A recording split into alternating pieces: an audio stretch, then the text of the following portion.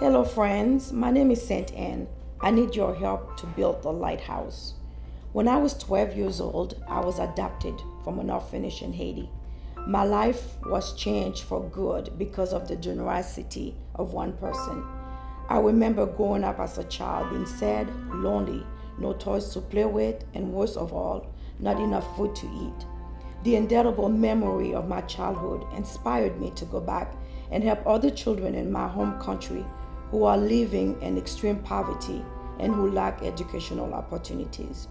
Using my own funds in 1995, I traveled to Haiti to work with several orphanages and families who were struggling to provide the basic necessities for so many.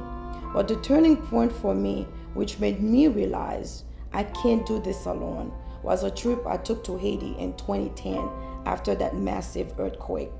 I was heartbroken to see the extreme poverty and the indifference affecting the children who live there. Haiti has been plagued by political violence and environmental degradation, resulting in extreme poverty.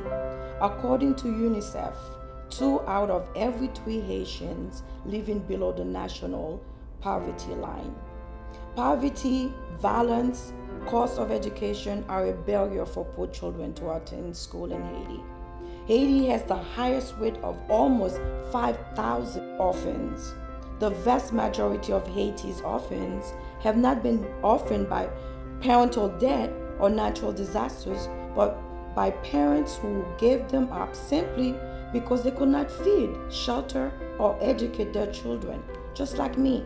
What is the lighthouse? It is a symbol of safety and guidance, a beacon of light in so much darkness for the neediest children in Haiti. I founded this nonprofit organization with a mission to bring about a positive change in the lives of children through support services that directly impact their spiritual and physical well being. I realize there are many relief operations ongoing in Haiti. Some are more effective than others, what I bring to this mission is a bond with the people, a familiarity with the culture, and a passion for service.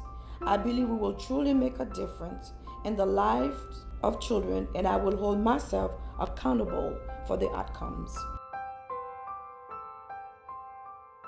With your help, we can make this dream a reality for so many children in Haiti. Those who give to the poor will lack nothing. Let's do it together. Thank you.